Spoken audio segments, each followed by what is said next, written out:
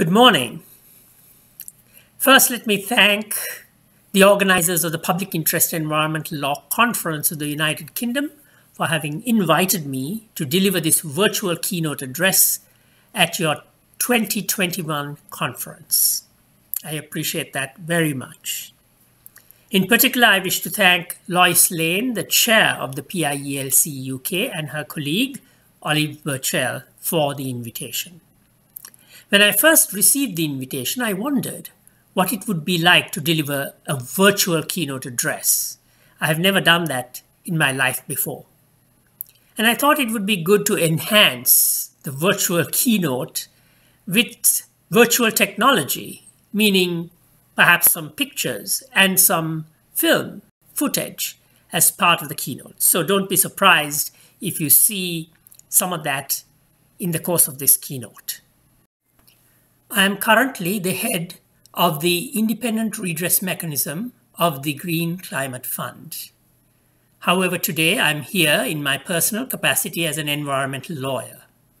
The views I express today are my own and they do not represent the Green Climate Fund. The topic for the 2021 PIELC UK conference is After the Storm Environmental Law. I want to divide this keynote address into three parts. The first part is where I want to discuss with you what we mean by the storm and how environmental law relates to that experience of the storm that we're just coming out of. I want to discuss both the positives and the negatives of the storm. This, in the second part, I want to discuss what the post 2021 public interest environmental law landscape might look like. And in the third part, I want to share with you some ideas of how public interest environmental lawyers may want to shape their thoughts and actions uh, in the post 2021 uh, period. Now, the most obvious aspects of the storm that we experienced in 2020 and now continuing into 2021 is, of course, the COVID 19 pandemic. But there are also other aspects of, a, of the storm that we should not forget. For example, there is the rise in awareness of racial discrimination, of systemic racial discrimination, raised by movements, for example, like the Black Lives Matter movement in the United States, but also in other parts of the world. Then there is the continuing Me Too movement, raising awareness about the sexual exploitation, abuse, and harassment of women. Then we also have the existential crisis that humanity is facing with climate change, which is becoming more and more serious day by day. And then, of course, for you in the United Kingdom, you have Brexit, which became a reality at the end of 2020. All of these different aspects, led by the pandemic, of course, form the idea of the storm, which we have all experienced in different ways, some more than others, and which we are continuing to experience as we go into 2021. But the important thing about storms is that they never last forever. Storms have a beginning, a middle, and an end. And they will all, at some point, die down. And calm will return, or a degree of calm will return. And that will also be true for all of those things that I described to you as part of the storm, including the COVID 19 pandemic. So there is hope for the future. There is a light at the end of the tunnel that we can always look to with regard to storms. Let us look at the positives and negatives of the storms that we have experienced. Let us turn our attention to the pandemic, the COVID 19 pandemic. As at today, some 2.8 million people have died fathers, mothers, sisters, brothers, spouses, lovers. 131 million people have caught the disease, of whom some 74 million have recovered. Staggering numbers across the world in literally every single country. That is the negative of the pandemic, a terrible toll. But there is also the positive side. In a very short period of time, within just one year, we as human beings, using the technology, the science that we have developed over the years, we have succeeded in manufacturing several vaccines to deal with this virus. A Pfizer BioNTech, Moderna, J&J, AstraZeneca, a Russian vaccine, a Chinese vaccine, and several other vaccines in development. These vaccines are now being administered, millions have already received it, and it will change the course of the pandemic. One of the most frightening things about this pandemic is how quickly it spread. Let's look at how the virus, which began in China, spread very quickly around the world in about six months you see that because of air travel, because of motor travel, because of uh, of the ability of human beings to travel quickly around the world, the virus is able to piggyback and travel with them and spread across the world very quickly. So that advantage that technology gave us also becomes our Achilles heel. On the other hand, as each country began to lock down and to impose travel restrictions, quarantine requirements, testing, and so on, we were all forced to work virtually, stay at home, some to abandon their work, others to close down businesses. But a fair amount of work continued because of the technological advancements we had through the internet, through Zoom and WebEx and so on and so forth, that we were able to connect with each other, talk to each other, see each other halfway across the globe, and conduct business.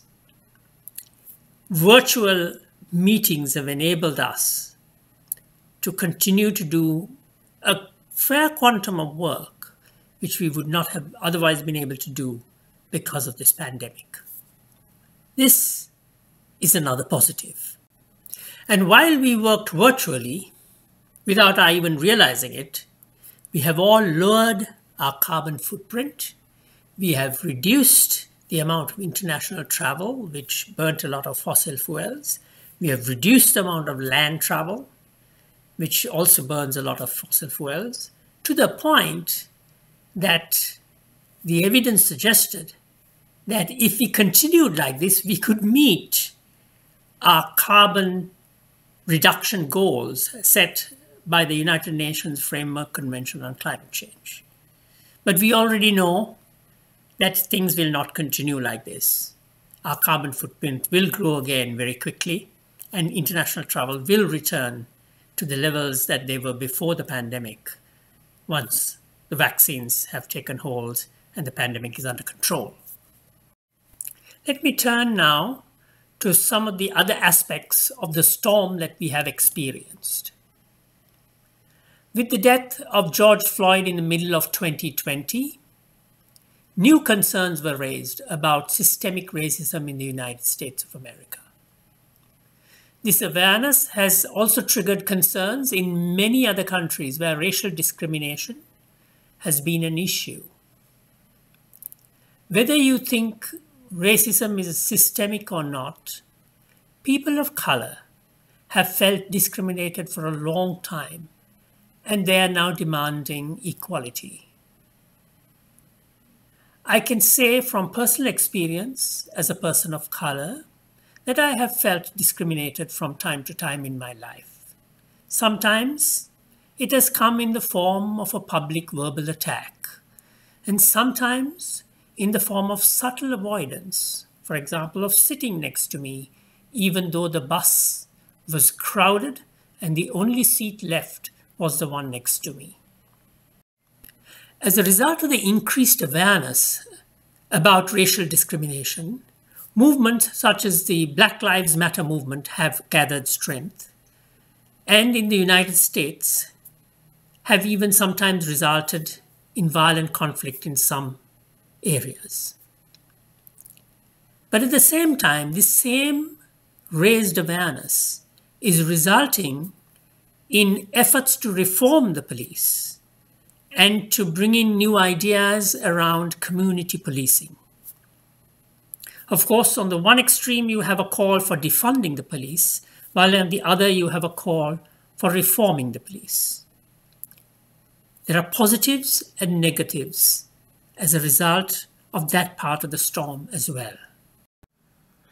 And then there is the Me Too movement, where rightly women who have been sexually harassed, abused, or exploited at the workplace or at home can now speak out more boldly about it, and those responsible are increasingly being held to account. Another aspect of the storm is climate change.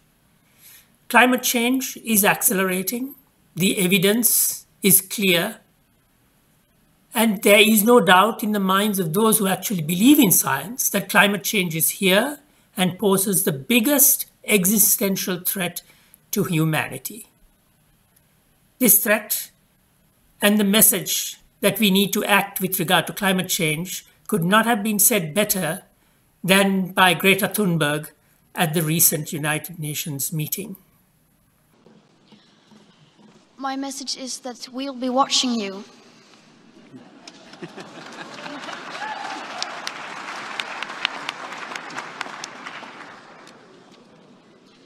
this is all wrong. I shouldn't be up here. I should be back in school on the other side of the ocean. Yet you all come to us young people for hope. How dare you? You have stolen my dreams and my childhood with your empty words, and yet I'm one of the lucky ones. People are suffering, people are dying, entire ecosystems are collapsing. We are in the beginning of a mass extinction, and all you can talk about is money and fairy tales of eternal economic growth. How dare you!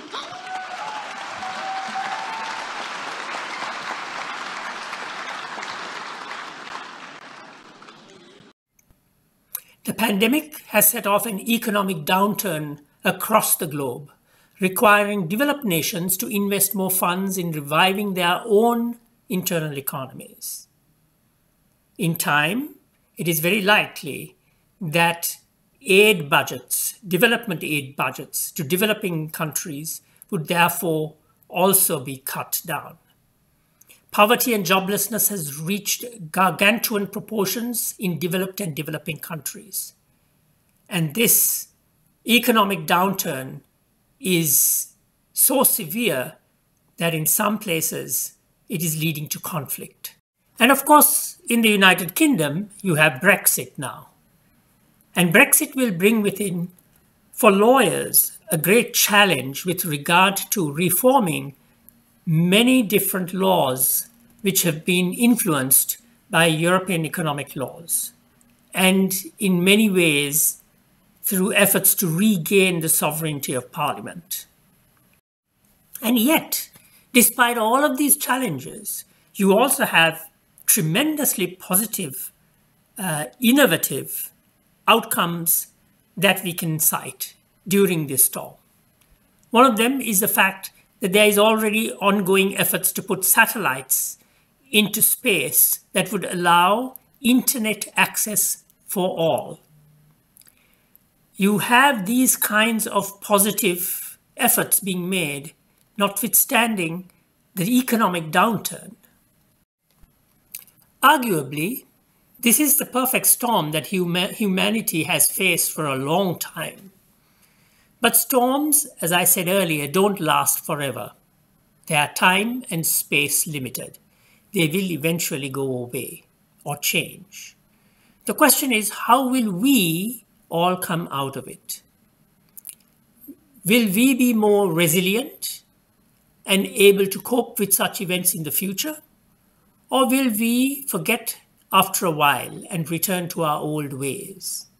Can we learn from this experience and improve and build upon it and move upward? The 2021 PIELC UK conference is posing these questions in the context of public interest environmental law. No doubt, it will be posed innumerable times in other areas as well.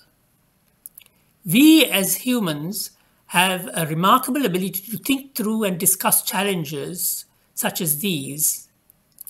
We can even research past history, draw analogies, and analyze optional pathways as to how we can change behavior to become more resilient and smarter. But we also have a remarkable inability and inertia to change our behavior. We are, for the most part, set in our ways, and it takes enormous social efforts to change human behaviors at the community, national, and global levels. We don't need to go far to see the struggles we face in changing behavior. For example, mask wearing has become politicized in the United States. Vaccination hesitancy is rampant everywhere, mostly driven by misinformation. Climate change skeptics abound, and politicians still debate in some places whether there is or is not climate change, and resist even small changes that can enable carbon neutrality. I now want to turn to the second part of my address to look at the landscape that is likely to take shape after 2021. Virtual communication will be here to stay. Remote working will be here to stay. Masks will very likely be ubiquitous for some years to come. There will be near universal internet access. Cyber attacks and cybercrime is likely to rise. There will also be movements seeking greater equality and less discrimination, racial discrimination, with perhaps significant police reforms. The economy, despite the downturn, is likely to pick up in a couple of years. Climate change will likely exacerbate given the unwillingness of nations to act and act in a timely way. And it is more likely than not that it will result in intense hurricanes, cyclones, tornadoes, wildfires, floods, droughts, and new vector-borne diseases, resulting in billions of property damage and significant, serious impacts on human populations. This kind of crisis is likely to result in mass scale movement of populations and immigration, putting pressure on both developed and developing countries.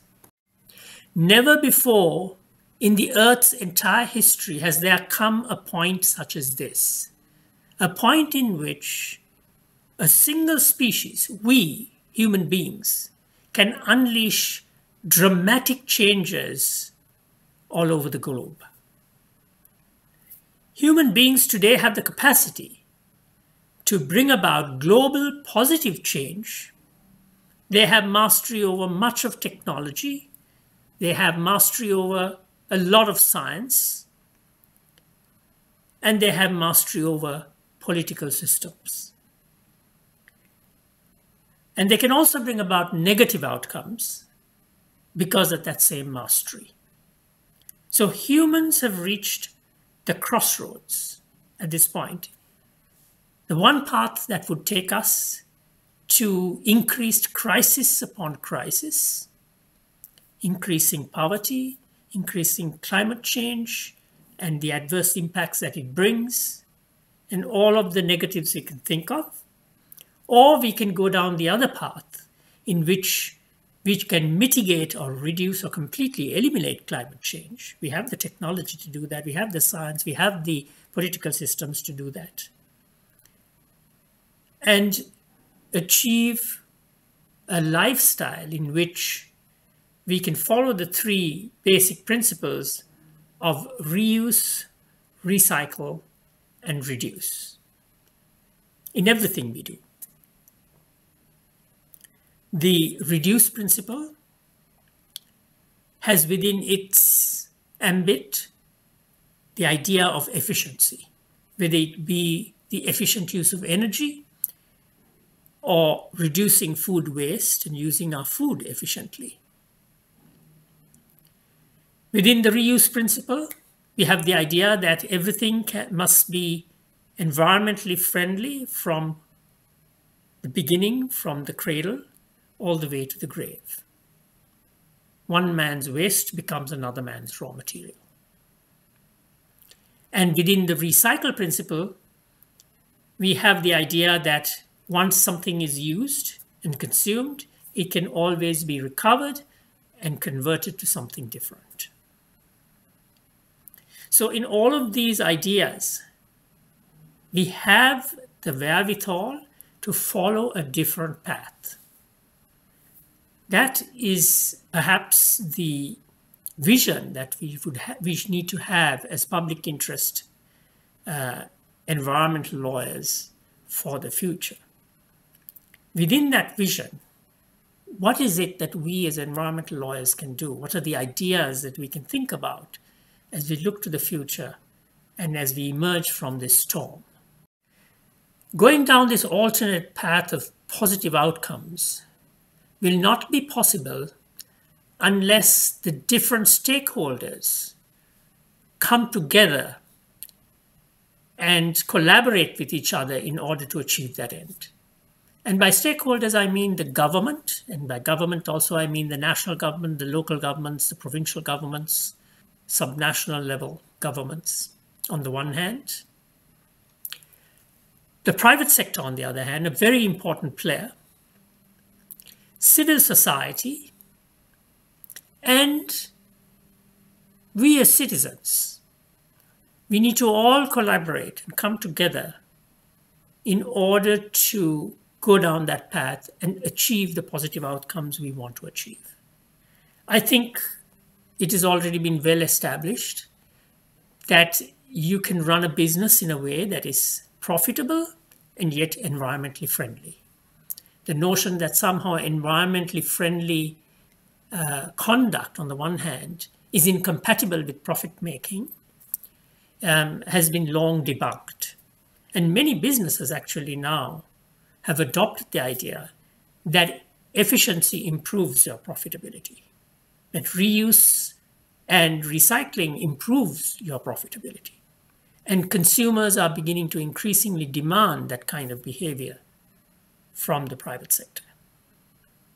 But as you look down supply chains, as supply chains get away further and further away from the developed economies in which some of these ideas are more pronounced, and trickle down into developing countries, there you still find a lot of exploitation of labor and exploitation of resources in ways that are not sustainable.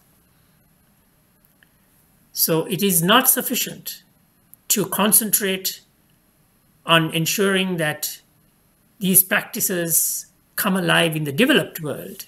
It is critical, perhaps even more important, to ensure that they take root and grow in the developing world. So the challenge of going down this new path is a heavy lift, but as history has proved, human beings, we are capable of going down that path. We have the technology, we have the science, we have the economic knowledge, and the political uh, systems to do it. What we lack, perhaps, is the political will to go down that path. I now want to turn to the, the last part of my address and look to some ideas that we can use as public interest environmental lawyers as we go beyond 2021. These are general ideas that you can use in different uh, contexts, but I hope that these ideas will generate discussion, and I'm sure there'll be many more ideas that you will come across in the three panels that form this conference. And I hope that at the end of the conference, you will go back with ideas that you can bring to life in your day to day work as public interest environmental lawyers. The first of these ideas I wish to discuss with you has to do with our past focus as environmental lawyers on the creation of precedent, of judicial precedent, on the creation of the jurisprudence of environmental sustainability, and to refocus our attention on doing those things that would bring about positive changes in human behavior and positive environmental outcomes that are widespread. Let me illustrate this through an example. In the 1990s, my dear good friend M.C. Mehta of India, an advocate, began a campaign to clean up the Ganges River. The Ganges, is, as we all know, is the, uh, one of the longest rivers in India, and it is a sacred river to Indians and to Hindus. He brought a series of cases, litigation, in the Supreme Court using its human rights jurisdiction, its fundamental rights jurisdiction, in the hope that by arguing that the right to life included the right to a clean environment, he could get the court to force hundreds of municipalities down the river, hundreds of industrial establishments down the river to change their uh, practices and to install basic uh, pollution control equipment to ensure that they complied with environmental standards in discharging their waste into the river. Much of the river is polluted through fecal and industrial waste. Thousands of cases resulted from this litigation. Thousands of industries were put under judicial orders to clean up their act. Pollution control boards at the local level were mandated and overseen by, by the judiciary to ensure that they were doing a proper job. To the point that some were even arguing that the judiciary had taken over the role of the executive. At the end of the day, we are now some 20 or 30 years since that litigation started. It is still to some extent ongoing. The question that we need to ask is is the river any cleaner today than it was when MC Mehta commenced his litigation? No doubt we have got extremely good Indian judicial precedent with regard to the right to life, the right to, including the right to the environment, what those standards are, and so on. But has it resulted in the outcome that MC Mehta was looking for? The fact of the matter is, the Ganges River continues to be polluted to this day.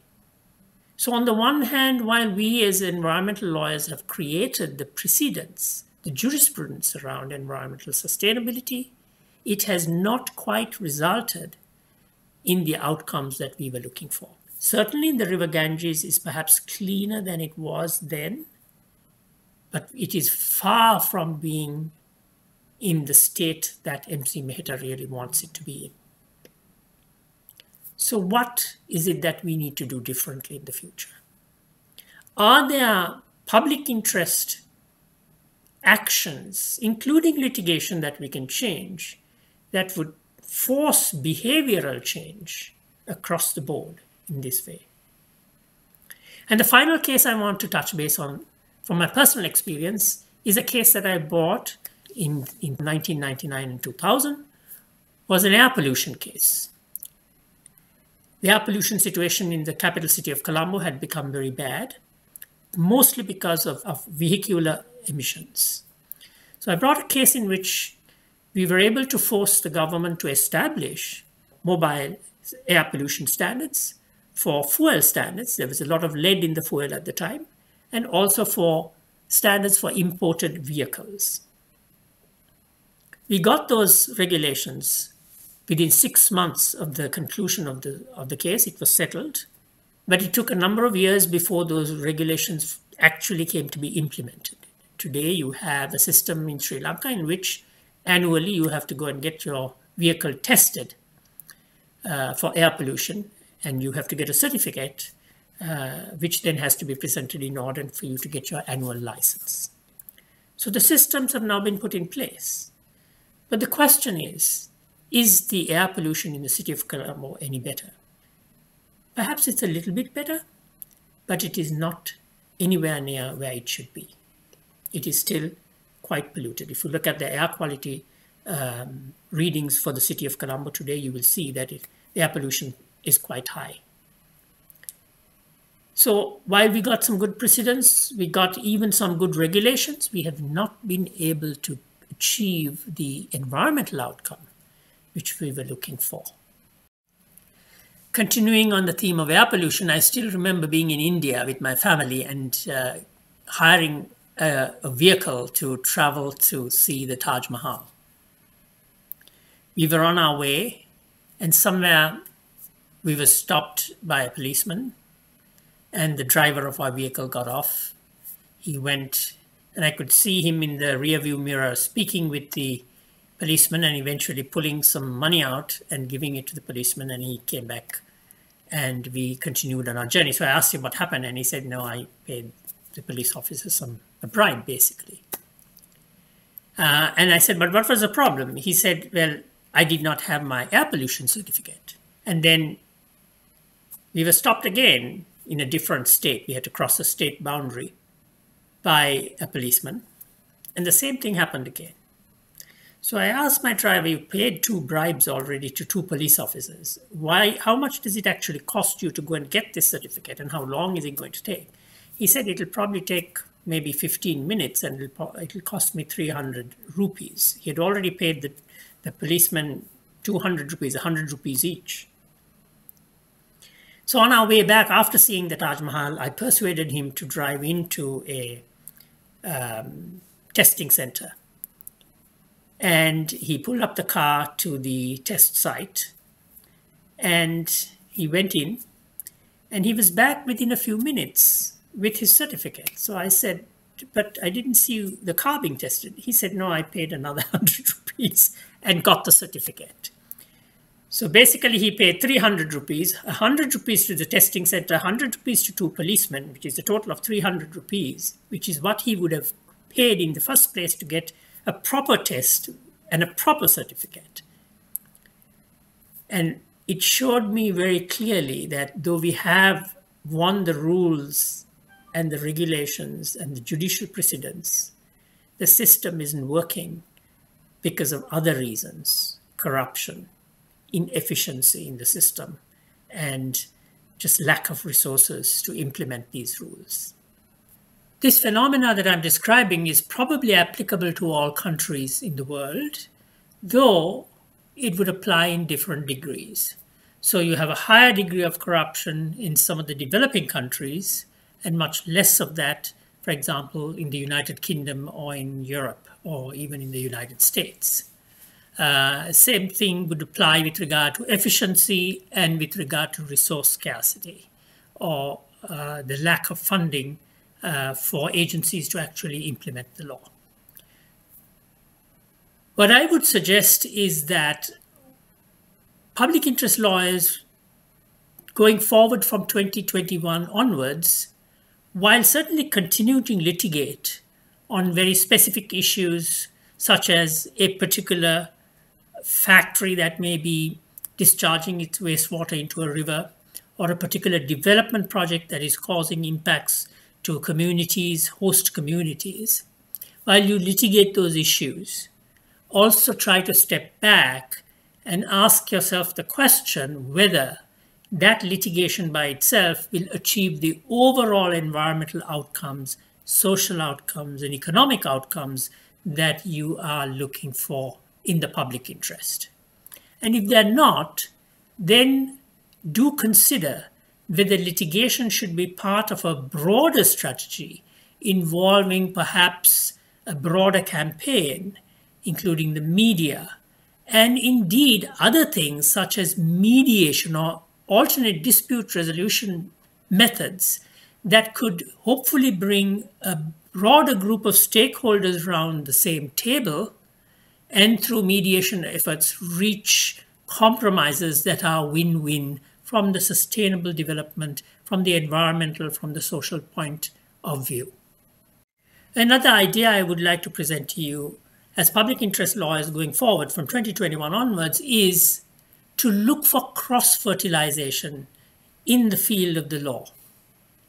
So you may be litigating a particular issue on which you might find that the law is sparse. You may not find many precedents, you may not find the exact statutes you're looking for, but there may well be concepts, legal concepts that may come from other branches of the law, whether it be through perhaps derivative actions which are found in company law, or the idea of the trust, which is found in trust law, or other such fields of law, which may be in some ways far removed from environmental law.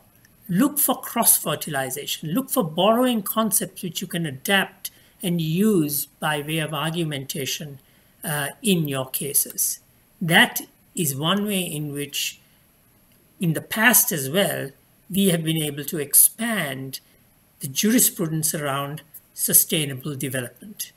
These ideas could come from company law, from property law, from administrative law and constitutional law, which has been a traditional area from which we have always borrowed ideas, but also from the law of trusts. The final idea I would like you to think about as we go forward is the importance of combining your public interest work with powerful narratives. If you look at the duration in which humanity has learned to commit one's thoughts to writing, in other words, how old is writing? It may be 5,000, 6,000, maximum 7,000 years old, just by looking at archaeological evidence of the writings that we have today, some of the oldest languages. 7,000 years is not a long time, considering that, that Homo sapiens and before that other species of human beings have been on this earth for a much longer period of time. And the question then arises how is it that we as a species communicated our ideas, our knowledge, and our wisdom to generations and generations? We did so through oral traditions not through writing. And this is an important point because over this long period of time when we were using oral traditions to communicate our wisdom, we have somehow been hardwired to absorb stories, to absorb narrative much better than we do data and analysis and reports and so on. And this is one of the reasons why we scientists are finding it very challenging to convince politicians with scientific data. And there is therefore a gap between scientific data and scientific reasoning and scientific findings and political will, because somehow the messaging is not getting through to the politicians. And that is because politicians tend to build their campaigns around narratives. Many of these narratives are supported by data, are supported by research.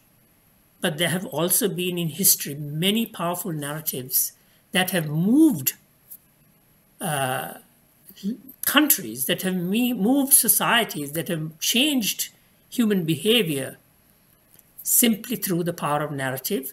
And what is important, narrative which was not based on data or research or fact, was in fact based on complete fiction and imagination alone. We don't have to go far. The entire Second World War, which was driven by the Nazis in Germany, was based upon a lie. But it was a powerful narrative. It changed the dynamics of social thinking in a very important European country for a period of time.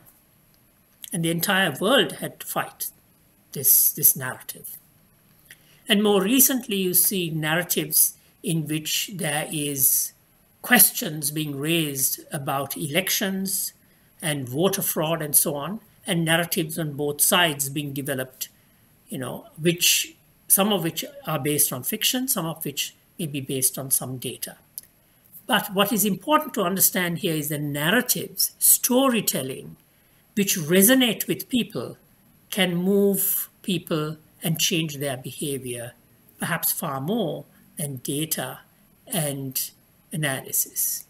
So we have, as public interest lawyers, as responsible citizens, to find a way to bridge that gap between the data and the science that we know is telling us, for example, that there's climate change and that this is an existential threat. We have to take that data and somehow convert it to powerful narratives that can move human beings to change behavior. And I'm afraid that's not quite happening because that would then move human beings to change behavior and to deal with climate change. That has not happened yet. So, for the public interest lawyer, my message is when you bring a case, don't just think of the legal precedent, step back and think of the broader outcomes that you're looking for. And while you do that, build a powerful narrative, not only for your case, that's very important, but also for that broader outcome.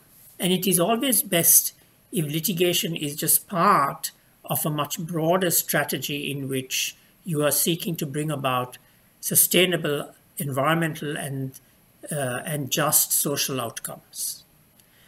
These then are the ideas I wish to present to you. And so to bring my address to a conclusion, let me summarize very quickly. The key messages I want to present to you is that we are coming out of a storm which consists not just of the pandemic, but also of other important aspects of social change that is going on, such as systemic racial discrimination, the Me Too movement, the rights of women to be free of sexual harassment and abuse and exploitation. And this storm is not something that's going to entirely die down, but it will die down in the course of this year and the next.